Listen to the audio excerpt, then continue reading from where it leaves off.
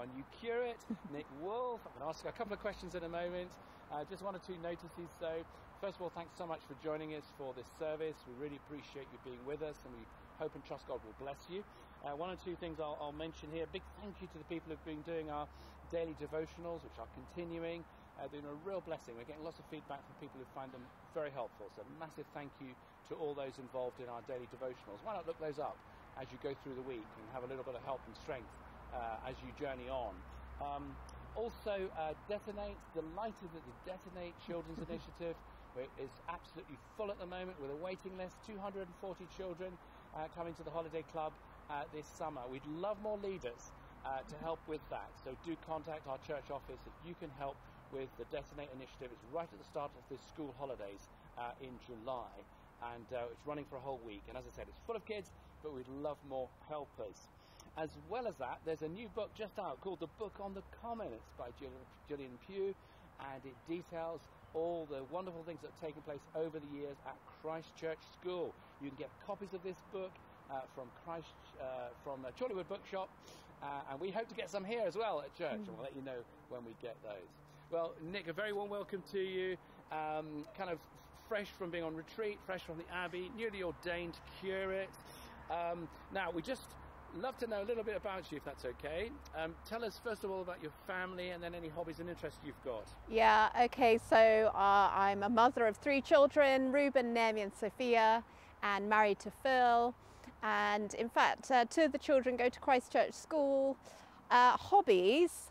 Uh, I love horse riding. I love animals in any shape or form. I really like music and I like food quite a bit as well. So these, are, pretty strong things here at Chorleywood, aren't they, in terms of uh, ministry? So uh, there's, there's, there's, great, great potential there. Good. Um, and um, uh, tell me also, before you went for ordination, what sort of work have you been involved in?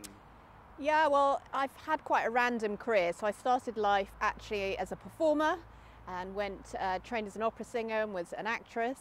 And then I moved into setting up my own leadership coaching company a long time ago, using all those skills from acting to help leaders stand up and look amazing when they present. And more recently, for the last five years, I've been CEO of a Christian charity called Be More, which encourages people to really give and be generous.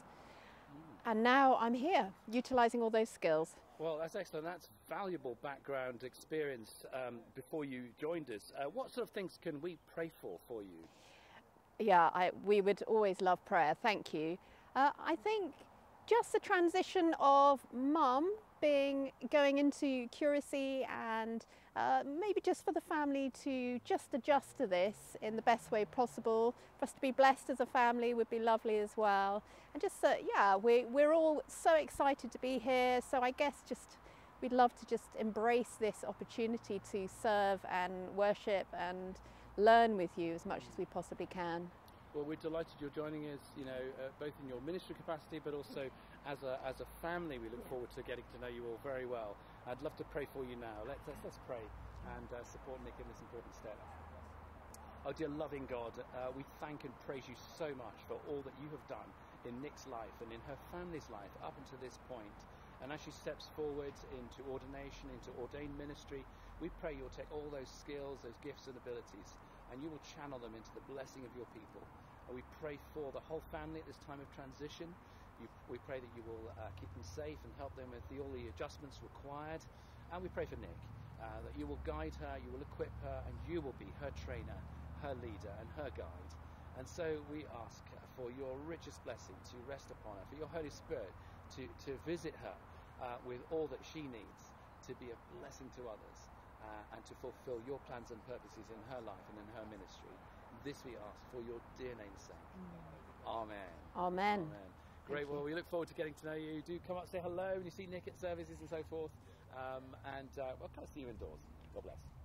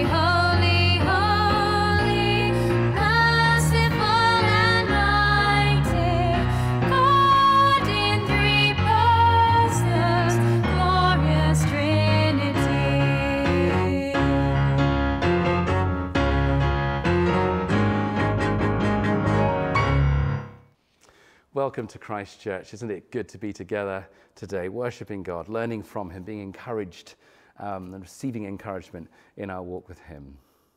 Let us pray. Our loving God, we thank and praise you that you are the God of all encouragement. You're the God of forgiveness. You're the, the God of, of, of, of fruitful work and good purposes in our lives. Please guide us, we pray, by your Spirit as we worship you today and as we learn from your word that we might see our lives transformed in your grace and power. This we ask for the sake of your Son, our Savior, Jesus Christ. Amen. Amen. We come now to the words of our confession. We pause just for a few moments before we join together in the words of our confession taken from Psalm 51.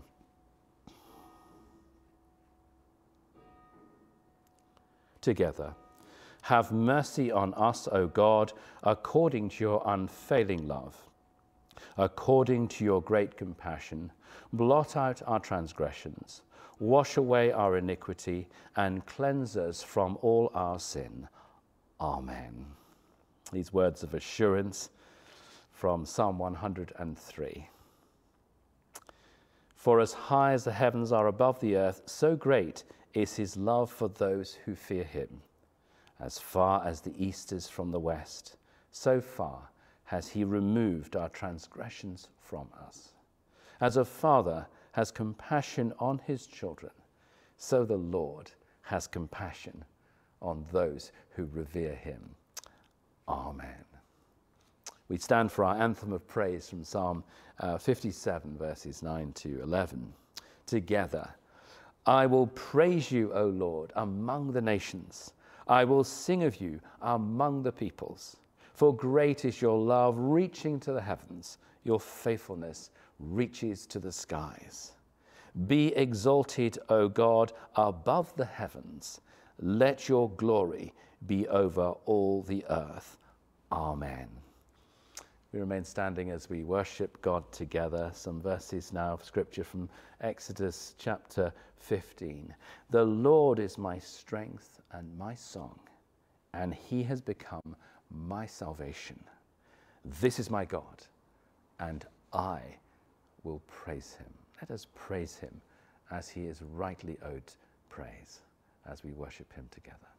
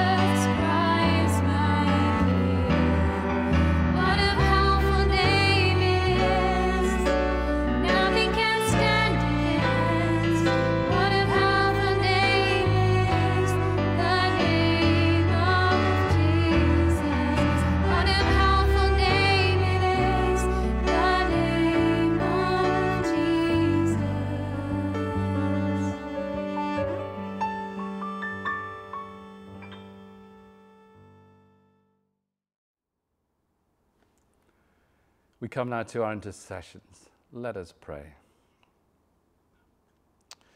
First of all, we pray for the Church of Christ, both in our community and around the world. Loving God, teach us to live the Great Commission as a church, with each of us performing our unique role. Where communities are still enduring widespread impact from COVID and recovering, guide the work of your church family as it builds unity across denominations Help all who believe in Christ to bring hope, relief, and restoration to our community and our nations. Lord, in your mercy, hear our prayer. Loving God, we celebrate with Nick and Phil Wolf and Reuben and Naomi and Sophia as they join us with Nick serving as our new curate. We ask that you will flourish their family life and their shared ministry and service of you together. May your Holy Spirit guide their every footstep, protect them from harm, and help them to know the fullness of your love and your truth in their lives and in their work for you at all times. Lord, in your mercy, hear our prayer. We pray for our world and lift you the troubled areas of the world where conflict continues. Lord, as we see the world become more unstable, we ask for godly insight for those who are in positions of authority. We thank you for all the vaccines that are being provided and the testing facilities and the increased international cooperation. We ask that you will guide those in authority, that they will influence fair distribution of the vaccine. Help us with all the practical aspects and the economic aspects of combating coronavirus pandemic. Lord, in your mercy, hear our prayer. We pray for our community and we lift up to you those in authority within our nation. Grant to our Prime Minister and our politicians godly counsel and wisdom in all their decision making. Bless Elizabeth, our Queen. We ask for your protection on our community as society eases restrictions and opportunities to meet up become more frequent. Give us wisdom and compassion in our own choices that we make, and help us to help one another on a practical basis as well as also on a spiritual level. Lord, in your mercy, hear our prayer. Lastly, we pray for ourselves. Please protect us and our families. Help us to trust in your unfailing love, to overcome fear and uncertainty with faith. Give us a sense of discernment for your greater plan when our lives and plans are disrupted, and help us to show compassion to all in need. Lord, in your mercy, hear our prayer. We bring our prayers together with the Lord's Prayer in its traditional, or rather its modern form. Our Father in heaven, hallowed be your name. Your kingdom come. Your will be done on earth as in heaven. Give us today our daily bread. Forgive us our sins as we forgive those who sin against us. Lead us not into temptation, but deliver us from evil. For the kingdom, the power, and the glory are yours now and forever. Amen. And now we come to our Bible reading, which is taken from Matthew chapter 10, verses 16 to 33. Matthew 10, verses 16 to 33. And I'm reading from the English Standard Version. Behold, I am sending you out as sheep in the midst of wolves. So be wise as serpents and innocent as doves. Beware of men, for they will deliver you over to courts and flog you in their synagogues. And you will be dragged before governors and kings for my sake, to bear witness before them and the Gentiles. When they deliver you over, do not be anxious how you are to speak or what you are to say for what you are to say will be given to you in that hour. For it is not you who speak, but the Spirit of your Father speaking through you. Brother will deliver brother over to death, and the father his child. And children will rise against parents and have them put to death. And you will be hated by all for my name's sake. But the one who endures to the end will be saved. When they persecute you in one town, flee to the next. For truly I say to you, you will not have gone through all the towns of Israel before the Son of Man comes. A disciple is not above his teacher, nor a servant above his master. It is enough for the disciple to be like his teacher, and the servant to be like his master.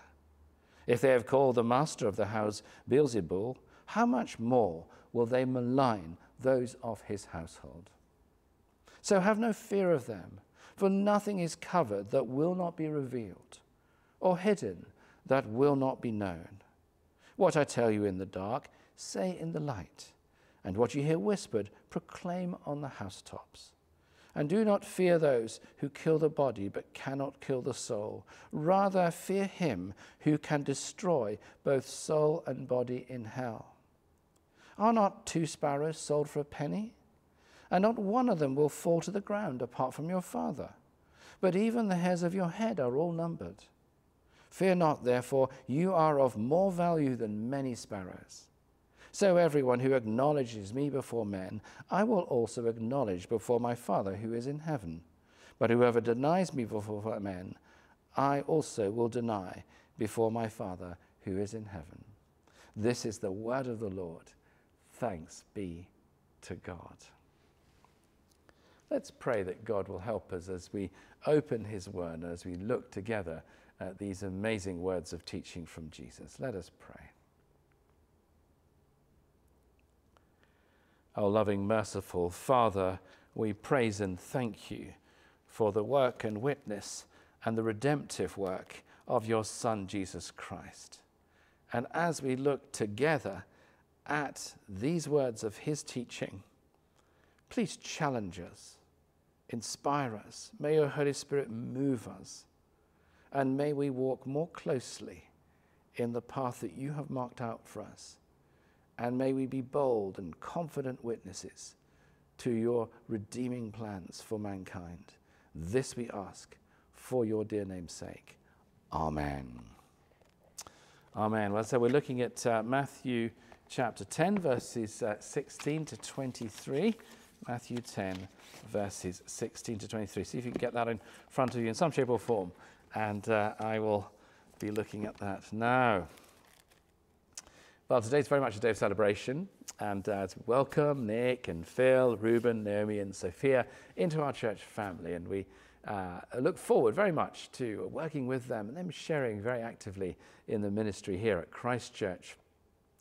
And uh, but we're looking at uh, Matthew 10, verses 16 to 33, under the title trusting God when things get harder. Trusting God when things get harder. Now, I know that Nick's got tons of information to simulate over the next week. I just want to reassure her that it's not going to get harder here, at least as far as the curacy is concerned. It's going to get easier as she gets to know us all and we get to know her.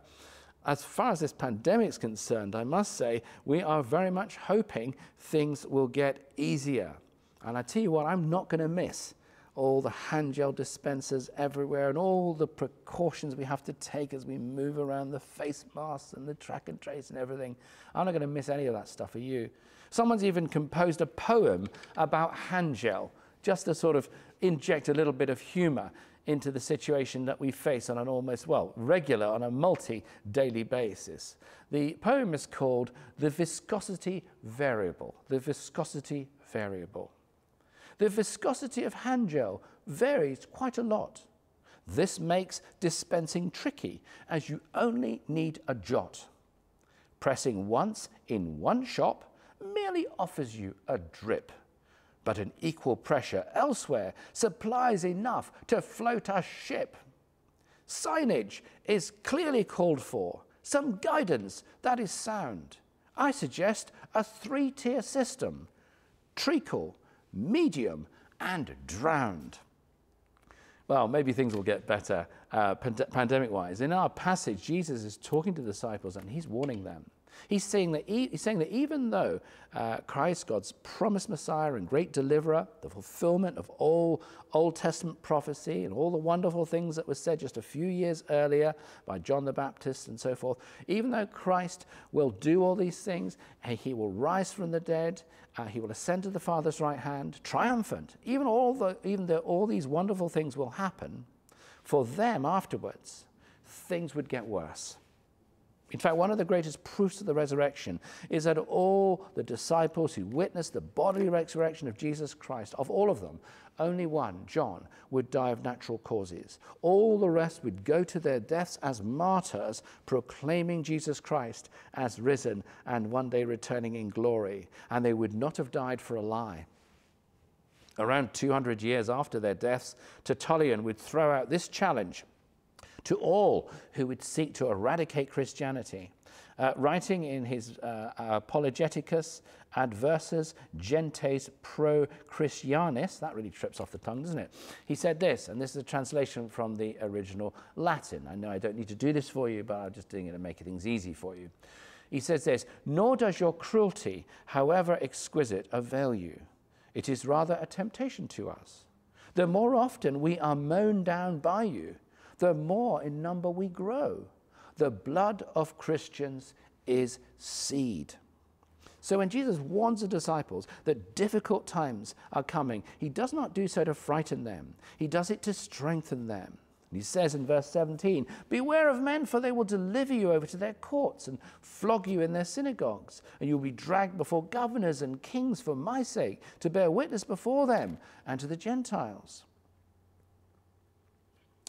And uh, Jesus warns them that the persecution of Christians would begin in places of worship and it would end in the secular courts. He also says this in verse 21 Brother will deliver brother over to death, and the father his child, and children will rise against parents and have them put to death. Whole families would be divided by faith issues. And verse 22 And you will be hated by all for my name's sake. In time, everyone, the Jewish uh, and the Roman authorities, would unite against the early Christians. And yet, the church of God would stand. The Roman Empire came to a humiliating end in 476 AD with the sacking of Rome. And here we are, 1500 years later. Not even a global pandemic could kill off the witness of God's people. In fact, we're more widespread than ever, aren't we? Online as well as in person. How did Jesus Christ pull this off? What guidance did he give here in this passage to those early Christians, which would help them not just to survive as a movement, but to build God's eternal kingdom, a kingdom that outlast every other kingdom this earth has ever produced? Well, firstly, Jesus says, Don't be surprised if things get harder. Don't be surprised. Uh, this week's been a little bit of drama, hasn't there, in the Crimea, with the Russians claiming to have fired warning shots and dropped bombs in the path of the British ship HMS Defender. Was the whole thing a surprise? Well, it was to me. I didn't even know we had a, a warship in the region. Someone wrote to a newspaper, please don't sink our ship. We only have half a dozen. But actually, when I discovered that there were just one, but two journalists already on board that ship. There was a print journalist and there was a broadcast journalist. Before all this kicked off, I did begin to wonder if the whole thing was a surprise to anyone. Or whether it's like one of those wrestling matches on television where they kind of discuss it beforehand and they decide how it's going to play out and who's going to win, and the fact that it's going to be probably a draw. When it comes to persecution, it comes to difficulty for the Christian, Jesus says, don't be surprised. He says this, verse 24 A disciple is not above his teacher, nor a servant above his master. It is enough for the disciple to be like his teacher, and the servant to be like his master. If they have called the master of the house Beelzebul, how much more will they malign those of his household? Jesus is basically saying, if they persecuted me, they will persecute you because you bear my name. So don't be surprised.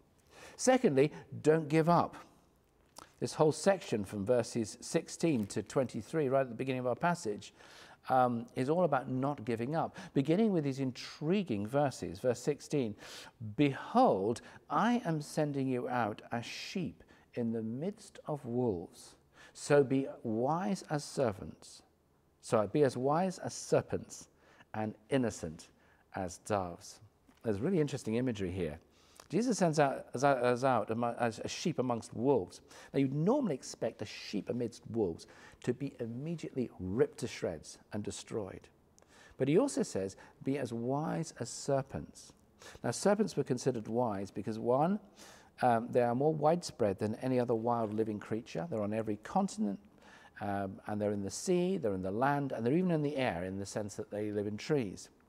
Two, they continue to exist in our ever modernizing world. No matter how many computers we build, no matter how much deforestation there is, snakes seem to survive and flourish. Three, snakes flourish even though they're hated by everybody. Okay? Um, and in many parts of the world, the first sign of a snake, the whole village will turn out to try to destroy it, regardless of whether it's a poisonous one or not. Jesus also says, Be innocent as doves. Now, doves have two qualities. First of all, they are associated with purity and with the worship of God, and they were used uh, in the temple as a sacrifice for that reason. We're told at, at Jesus' baptism in Matthew 3, verse 16, the heavens were opened to him, and he saw the Spirit of God descending like a dove and coming to rest on him. And behold, a voice from heaven said, This is my beloved Son, with whom I am well pleased. Doves also have the ability to fly, to fly above this world, to see things from above. And if you take, if you take all these three images together with all their rich meanings, and you were to compose a message of encouragement for discouraged Christians, here it's a speculative but legitimate amplification of Jesus' teaching as he uses these three images. Okay, here's a speculative but I think legitimate amplification of his teaching. And here it is I am sending you into a situation which would normally be expected to crush you. But I am telling you to flourish no matter what people say about you, to extend my kingdom everywhere, to worship me, to soar above this world and its sin, and then look down and see things from my perspective. And don't give up. Don't give up. Thirdly, don't be afraid. Jesus says in verse 30, even the hairs on your head are numbered. I find that verse to be of no comfort to me at all. But there are thankfully other verses that do speak to me great comfort. Verse 26, have no fear of them. Verse 31, fear not. And particularly, and perhaps most unusually, verse 28, and do not fear those who kill the body, but cannot kill the soul. Rather, fear him who can destroy both soul and body in hell. What is Jesus saying here? Well, I think it's very significant that he's mentioning hell quite directly. So we cannot deny its existence without denying the words of Jesus Christ. But there is a very positive message here. He's saying, if you have a right respect for God as Savior and Judge, you do not need to be afraid of anyone or anything. Verse 28 means a lot to me personally because it was the last verse that my uncle Luke ever read in church on the night that he died. On the 13th of March 1941, that day had been a pleasant, sunny spring day uh, on Glasgow's Clydebank. And at a prayer meeting around about 6:30 p.m. that evening in a small Brethren assembly nearby, my 23-year-old uncle Luke rose to his feet. He read that scripture and he prayed. He'd been badly shaken up uh, at Dunkirk, so badly, in fact, that he was on sick leave from the Army Medical Corps, suffering from the trauma of it and unable to serve on the front line. But he rose to his feet. He quoted these words from our reading, verse 28 onwards And do not fear those who kill the body, but cannot kill the soul. Rather, fear him who can destroy both soul and body in hell. Are not two sparrows sold for a penny? And not one of them will fall to the ground apart from your Father? But even the hairs of your head are all numbered. Fear not, therefore. You are of more value than many sparrows. And then he prayed that God would help us and help them, those at that meeting, to have a right respect for God and no fear of anyone else. And at 9 p.m. that evening, with the Clyde Estuary bathed in the light of a full moon, so bright, my father said, you could have read your newspaper by it. There was a wail of sirens, and then the drone of heavy bombers. And over two nights of bombing, more than 100,000 bombs were dropped uh, starting fires in every street. And out of 12,000 houses, just seven were left undamaged, and 1,200 people were killed. And while the rest of the family huddled in their uh, home, Luke suddenly stood up and headed out of the entrance to help with the wounded outside. And his last words were that he hoped his medical training would be of some use caring for the injured outside. One landmine drifted one and a half miles from the docks and landed near the outer wall of number 78 Jellicoe Street by the railway line, cutting the building in two. And in the explosion, Luke died along with 30 others sheltering in the same spot. But the rest of the family survived. What changed this young man? From someone so traumatized by his experiences at Dunkirk that he was still unfit for military service six months later. What changed him into someone who voluntarily ran out into the middle of the bombing to help others? He believed the words of Jesus. And he publicly prayed to God to take away his fear. And God answered that prayer. And on his gravestone, there are two things on the bottom are the words, redeemed with the precious blood of Christ. And at the top of the gravestone is the regimental emblem of the Royal Medical Corps, which has as its symbol a serpent on a pole, borrowed from Moses, placing a serpent on the pole to bring healing to the people of Israel from the plague. May God also make us as wise as serpents and as innocent as doves. So, as I conclude, we do not know what the future holds for us. We do not know whether we face further natural disasters or even persecution. But Jesus stands above it all. He has walked this path of suffering and persecution.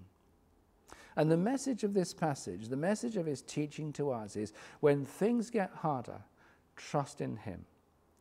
Don't be surprised. Don't give up. And do not be afraid. Let us pray.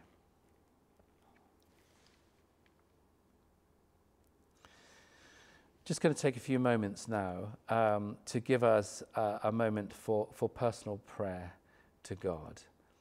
And there may be something that represents for us a particular fear that we have at this time maybe something in the future, it may be something that we're experiencing right now.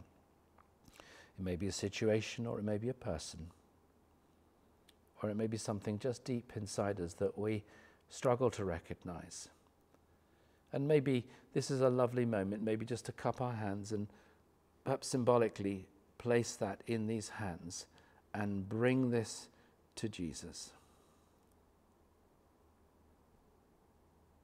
And then I'm going to pray.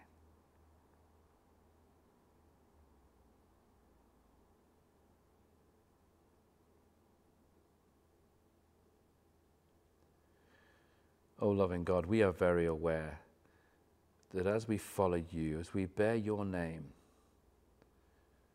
we go into this world as sheep amongst wolves. Please help us to be as wise as serpents and as innocent as doves. As we trust in you, help us not to be surprised when there are difficulties, temptations, or persecutions. Help us not to give up. And above all, help us not to be afraid. This we ask for the sake of your Son, our Saviour Jesus Christ, and in the power of his Spirit. Amen.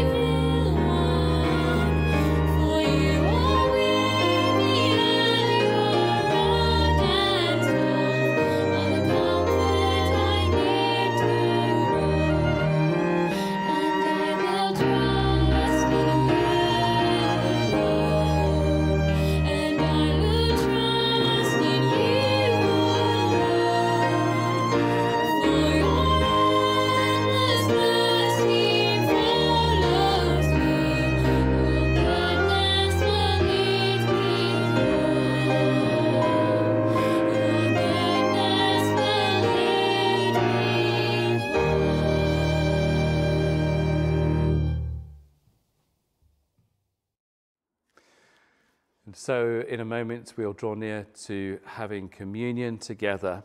We come now to the peace. If we're on our own at home, perhaps a good time just to maybe offer our expressions of peace and goodwill um, to others, either in our thoughts or possibly even via the social media. Yeah, let's give thanks to God for those who enrich our lives with their friendship, their fellowship, and their love. The peace of the Lord be always with you and also with you. Let us offer one another a sign of peace to those around us.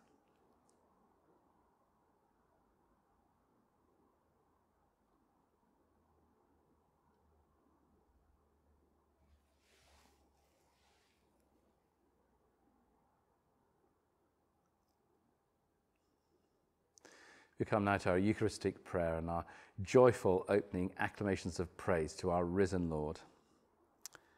The Lord is here, His Spirit is with us. Lift up your hearts, we lift them to the Lord. Let us give thanks to the Lord our God. It is right to give thanks and praise. We praise and bless you, loving Father, through Jesus Christ our Lord. And as we obey his command, send your Holy Spirit, that broken bread and wine outpoured may be for us the body and blood of your dear Son. On the night before he died, he had supper with his friends, and taking bread, he praised you. He broke the bread, gave it to them, and said, Take, Eat, this is my body, which is given for you. Do this in remembrance of me. When supper was ended, he took the cup of wine. Again, he praised you, gave it to them, and said, Drink this, all of you. This is my blood of the new covenant, which is shed for you and for many for the forgiveness of sins. Do this as often as you drink it in remembrance of me. So, Father, we remember all that Jesus did. In him we plead with confidence his sacrifice made once for all upon the cross. Bringing before you the bread of life and cup of salvation, we proclaim his death and resurrection until he comes in glory. Great is the mystery of faith. Christ has died, Christ is risen, Christ will come again.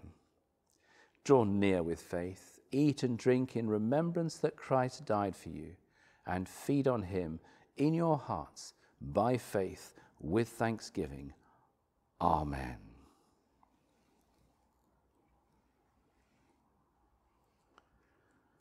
Body of Christ, broken for you, keep you in eternal life.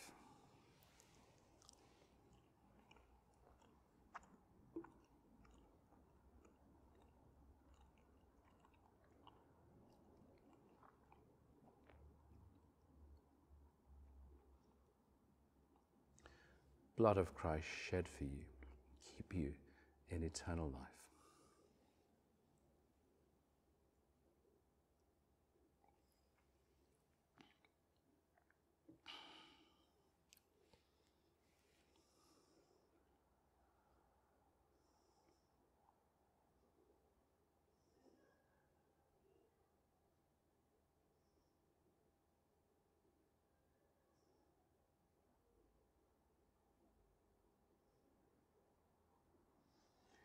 We come now to the prayer after communion. Lord of all life, help us to work together for that day when your kingdom comes and justice and mercy will be seen in all the earth through Christ and with Christ and in Christ, in the unity of the Holy Spirit. All honor and glory are yours, O loving Father, forever and ever. Amen. In a moment, we're going to come to our final song, during which we take our offering for the work of and witness of our church family, both here in this parish and overseas, uh, through our mission partners very far afield. Um, thank you for joining us uh, in this act of remembrance and thanksgiving for all that Jesus Christ has done for us. I trust your faith has been strengthened by this morning's message and by this act of remembrance. Do use the social media or email to send your greetings, thoughts, spiritual encouragements to others? Do also share with us testimonies as well of answers to prayer? It's always so encouraging to hear what God's doing in your life. Um, and uh, if you are joining us in any shape or form from a, a, foreign country, do mention, if you're able to, the country you're from. It's always such an encouragement to us to know that God is at work all over the world. We come now to our blessing.